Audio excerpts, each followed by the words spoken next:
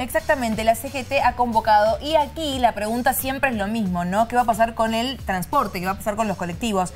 Finalmente desde Cipemón dijeron que van a adherir. Escuchemos.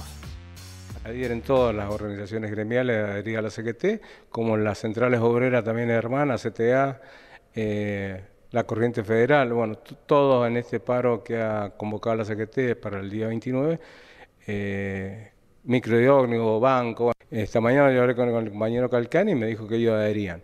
Ahora, después, si se realiza o no, o andan los colectivos porque hay un, porcentaje mínimo que tienen que garantizar cada organización, eh, ya corre después por cuenta de cada organización gremial. Esta modalidad es paro por 24 horas, en la cual sin movilización.